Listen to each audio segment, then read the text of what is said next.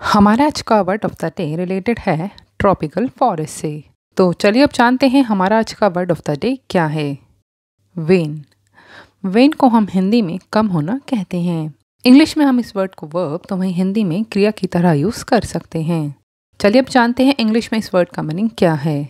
Specially of a condition और feeling decrease in vigour power और extent या फिर हम कह सकते हैं बिकम वीकर इंग्लिश मीनिंग जानने के बाद, अब जानते हैं वेन के कुछ सिनेम्स या फिर इससे ही मिलते जुलते कुछ और words diminish decline decrease dwindle subside synonyms जानने के बाद, अब आगे बढ़ते हैं और जानते हैं वेन के कुछ एंटेनिम्स या फिर इसके विपरीत शब्द. Grow increase expand rise accumulate और सबसे लास्ट में हम जानेंगे न्यूज़ के इस दिए गई सेंटेंस में, हमारे आज की word of the day wane का यूज़ किस तरह से किया गया है.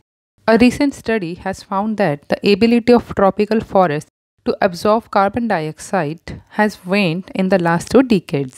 हाल के एक अध्ययन में पाया गया है कि पिछले दो दशकों में उष्णकटिबंधीय जंगलों की कार्बन डाइऑक्साइड को अवशोषित करने की क्षमता कम हो गई है। सो so फ्रेंड्स हमें कमेंट्स में बताना मत भूलिए। आप कैसे यूज़ करेंगे वेन का एक सेंटेंस में? और इसी के साथ यूट्यूब पर हमारे हिंद कोच डिक्शनरी चैनल को भी सब्सक्राइब करना मत भूलिए।